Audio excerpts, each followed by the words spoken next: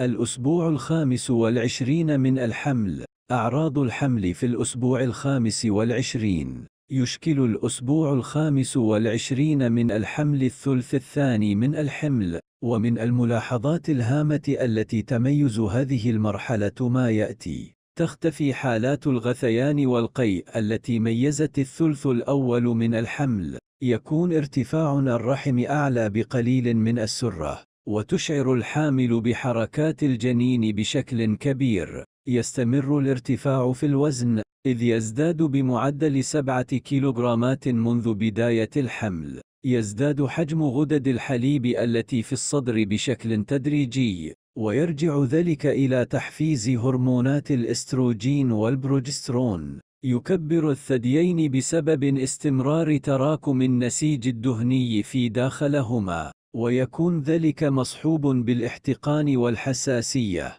تحدث تقلصات خفيفة وغير منتظمة في الرحم نتيجة لنموه السريع والتي تسمى تقلصات براكستون هيكس وذلك بسبب تمدد ألياف عضلة الرحم. يتمدد الجلد خصوصا في البطن والوجه ويصبح لماعا بفضل زيادة تدفق الدم فيه. يبد ظهور تصبغ قاتم يكون أكثر وضوحا إذا كان جلدك فاتح اللون أصلا خصوصا في هالات الحلمتين وفي خط البطن الذي يمتد من السرة إلى العانة. تتمدد الأوعية الدموية نتيجة لزيادة تدفق الدم بسبب تأثير هرمونات الحمل. ينخفض ضغط الدم وتشعرين أحيؤنا بالدوار خصوصا بعد الوقوف لفترات طويلة والانتقال السريع من وضعية الاستقاء أو الجلوس إلى وضعية الوقوف. يحدث تورم في الأغشية المخاطية الأنفية ناتج عن زيادة تدفق الدم فيها. يزداد الشخير بسبب الانسداد الجزئي لقنوات التنفس. تصاب اللثة بالتورم وتصبح حساسة أكثر كما قد تنزف أحيؤنا عند فرك الأسنان. تطور الجنين في الأسبوع الخامس والعشرين من الحمل. يكون تطور الجنين في هذه الفترة كما يأتي. يكون طول الجنين حوالي 3.4.6 سنتيمتر ووزنه 0.66 كيلوغرام.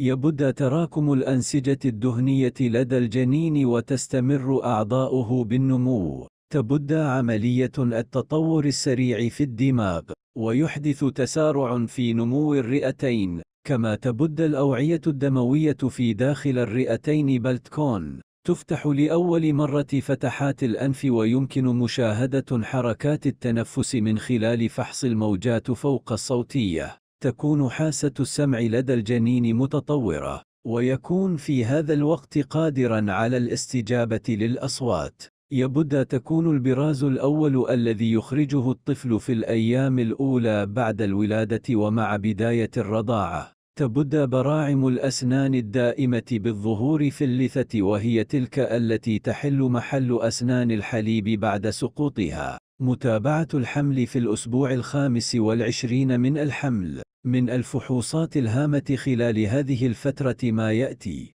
فحص متابعة الحمل الروتيني من قبل الطبيب خلال هذه الفترة حيث يتم فحص ما يأتي ضغط الدم النبض الوزن وجود وذمات قياس حجم الرحم وملاءمته لأسبوع الحمل. فحص الموجات فوق الصوتية يسال الطبيب ما إذا كنت تشعرين بحركات الجنين ويمكن إكمال الاختبار بإجراء فحص الموجات فوق الصوتية الروتيني لإثبات نمو الجنين السليم وتحديد كمية السائل أسلوي ومشاهدة حركات الجسم والتنفس لدى الجنين. اختبار تحمل الألغلوكوز إذا كنت لم تخضعي بعد لاختبار تحمل الجلوكوز لنفي احتمالات الإصابة بسكر الحمل. فإن الأسبوع الخامس والعشرين من الحمل هو وقت ممتاز لذلك. قبل أيام من اختبار تحمل الجلوكوز يجب عليك تناول الطعام بشكل طبيعي للحصول على نتيجة جيدة وينصح عادة بتناول ليمون بعد شرب محلول السكر لتجنب حدوث غثيان. فحوصات أخرى وتشمل فحص النتائج المخبرية الهيموغلوبين وفحص البول بنوعيه العام والمستنبت وكذلك الأجسام المضادة للعامل الرايزيسي